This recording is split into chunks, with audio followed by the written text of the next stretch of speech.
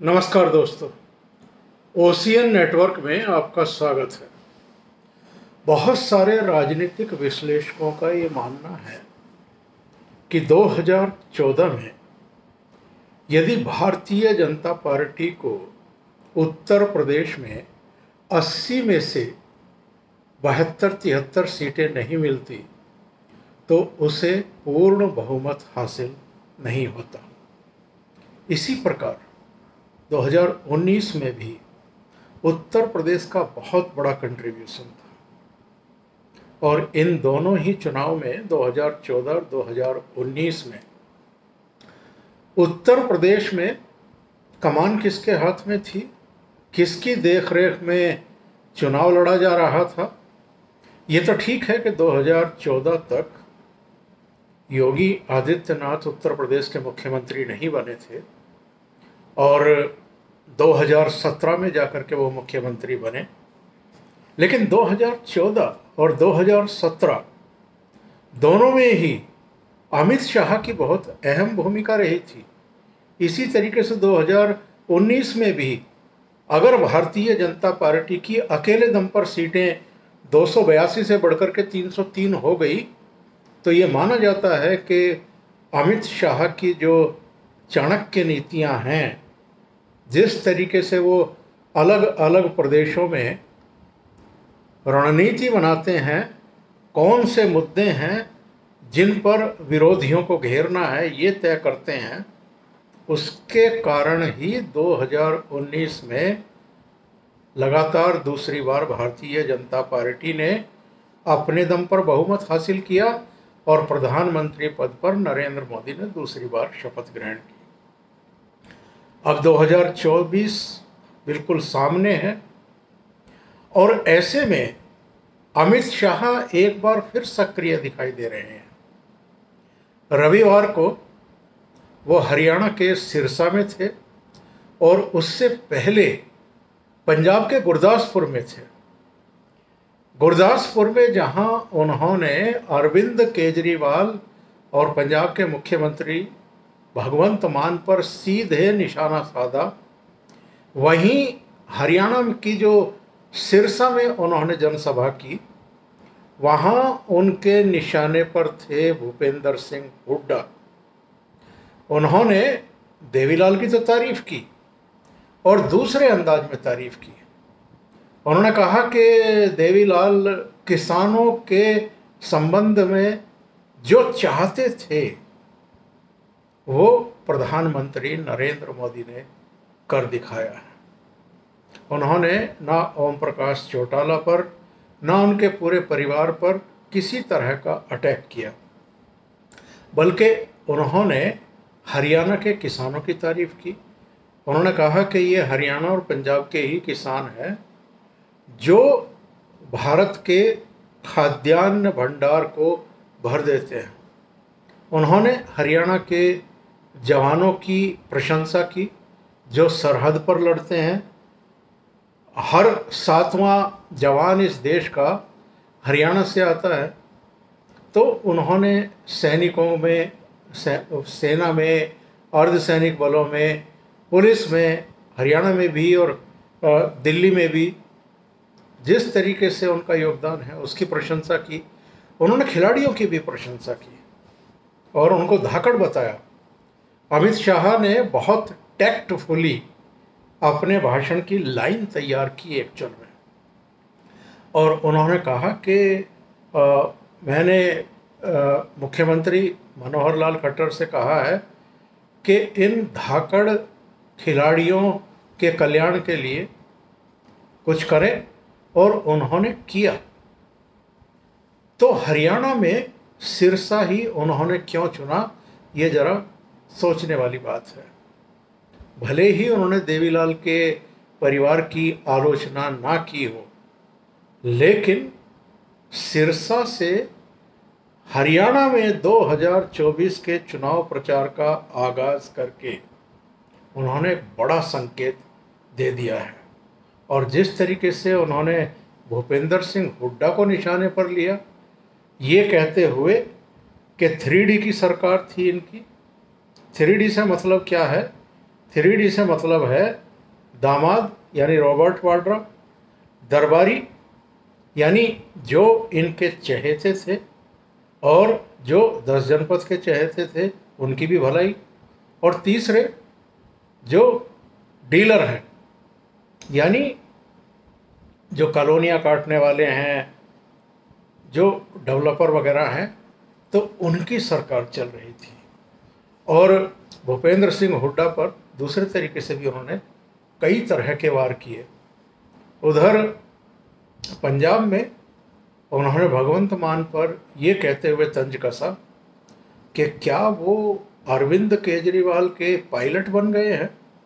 जहाँ भी अरविंद केजरीवाल को जाना होता है पूरे देश में, किसी भी देश, प्रदेश की राजधानी में जाना होता है तो वो अपना हेलीकॉप्टर लेकर के दिल्ली पहुँच जाते हैं। और दिल्ली से अरविंद केजरीवाल को लेकर के कभी कलकत्ता, कभी मुंबई, कभी दूसरी जगहों पर उनको लेकर के जाते हैं तो क्या उनके पायलट बन गए हैं? या पंजाब के मुख्यमंत्री ही हैं? तो ये बहुत बड़ा हमला है अरविंद केजरीवाल पर भी और भगवंत मान पर भी। उन्होंने ये भी सवाल खड़ा किया कि महिलाओं को एक हज़ार रुपया देने की बात हो रही थी, अभी तक भी दिया नहीं गया है। कई दूसरी बातें भी कही हैं। लेकिन मैं यहाँ ये एक प्रश्न उठाना चाहता हूँ कि अमित शाह ने पंजाब और हरियाणा की ज़िम्मेदारी अपने कंधों पर क्यों ले ली है? क्योंकि जितना कुछ पिछले छः महीने में हुआ है, और इससे पहले भी होता रहा है, मत भूलिए कि जो तेरह महीने का दिल्ली में आंदोलन चलाया गया था किसानों के नाम पर तीन कृषि कानूनों के खिलाफ, उसमें मैक्सिमम जो किसान थे, वो पंजाब से आए थे या हरियाणा से आए थे। यानी कुंडली बॉर्डर और टीकरी बॉर्डर, ये ज़्यादा गर्म थे। गाजीपुर बॉर्डर तो तब गर्म हुआ जब राकेश टिकैत को गिरफ़्तार करने की कोशिशें हुई थी और वो टेलीविज़न माइकों पर रो पड़े थे।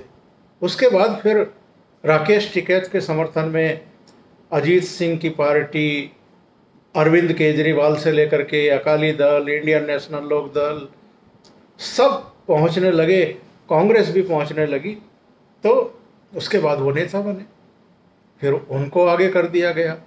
और जो पंजाब की लीडरशिप थी, दर्शन पाल वगैरह, राजेवाल वगैरह वो सब थोड़ा पीछे हट गए। उनको लगा कि यही ठीक रहेगा। और राकेश टिकैत ने उस समय किस किस तरह के बयान दिए, बक्कल उतारने से लेकर के पता नहीं क्या क्या उसके चलते वो इस देश के बुद्धिजीवियों के निशाने पर भी आए। तो मेरा ये कहना था कि हरियाणा और पंजाब को संभालने की ज़िम्मेदारी दोनों राज्यों में कुल मिलाकर के तेईस सीटें हैं। और सात सीटें हम दिल्ली की भी लगा लें तो ये तीस सीटें बैठती हैं। इनकी ज़िम्मेदारी जिस तरीके से अमित शाह ने ली है, उसके एक बड़े संकेत हैं।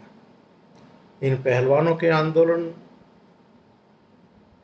के बाद इससे पहले वो खाप पंचायतों पर आधारित किसान आंदोलन, दिल्ली का हो, हरियाणा का हो, वो सब एक्चुअल में एक गोलबंदी है। हरियाणा में भी, दिल्ली में भी, पंजाब में भी। और ये प्रधानमंत्री नरेंद्र मोदी को नुकसान पहुँचाने की एक चेष्टा है।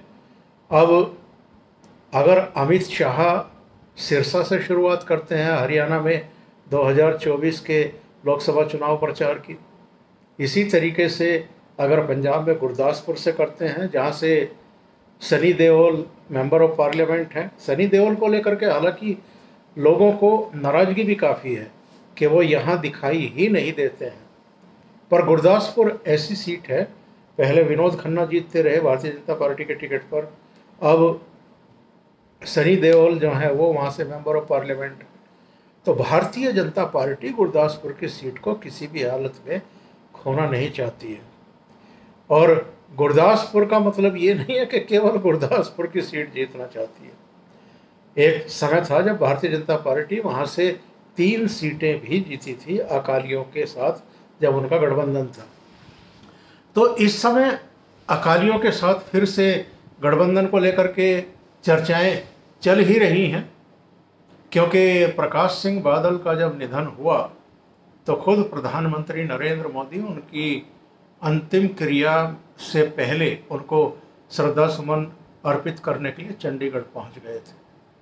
और सब जानते हैं कि जब प्रधानमंत्री वाराणसी से नॉमिनेशन दाखिल करने वाले थे तो एनडीए के सभी घटक दलों के नेता वहाँ पर पहुँचे थे, प्रकाश सिंह बादल भी पहुँचे थे। तब सबके सामने नरेंद्र मोदी ने उनके पैर छू करके आशीर्वाद लिया था। ये तो तीन कृषि कानूनों के खिलाफ जो ये आंदोलन जीवियों ने आंदोलन खड़ा किया, इससे घबरा करके अकाली दल ने भारतीय जनता पार्टी से नाता तोड़ लिया। हरसिमरत कौर ने इस्तीफा दे दिया। वरना वो भी जानते हैं कि उनकी आज पंजाब में कितनी बुरी हालत है। और बिना भाजपा के वो कैसे आगे बढ़ पाएँगे, ये उनकी भी चिंता है। इसलिए इधर ये देखा गया है कि चाहे नई संसद का लोकार्पण हो या दूसरे कार्यक्रम हो, सुखबीर बादल उन कार्यक्रमों में पहुँच रहे हैं। विपक्ष के कई दलों ने दूरी बनाई, लेकिन सुखबीर बादल वहाँ पहुँचे। इसलिए पंजाब पर भी सबकी निगाह रहेगी, हरियाणा पर भी सबकी निगाह रहने वाली है। और अमित शाह जिस तरीके से सक्रिय हुए हैं, और पंजाब में जिस तरह आम आदमी पार्टी नेता अरविंद केजरीवाल पर अटैक किया है, और हरियाणा में भूपेंद्र सिंह हुड्डा और उनके परिवार पर, उनकी पूर्ववर्ती सरकार पर हमला किया है उसके बड़े साफ़ संकेत हैं। अभी के लिए इतना ही। बहुत बहुत धन्यवाद। अगर आपको ये चैनल और इसके कंटेंट पसंद आ रहे हैं तो लाइक करें, कमेंट करें, वीडियो को शेयर भी करें। अभी तक अगर आपने ये चैनल सब्सक्राइब नहीं किया है तो सब्सक्राइब कर लें और साथ में लगे बेल आइकॉन को दबा दें, ताकि आगे आने वाले वीडियो और उनके नोटिफिकेशन आप तक पहुँचते रहें। बहुत बहुत धन्यवाद। नमस्कार।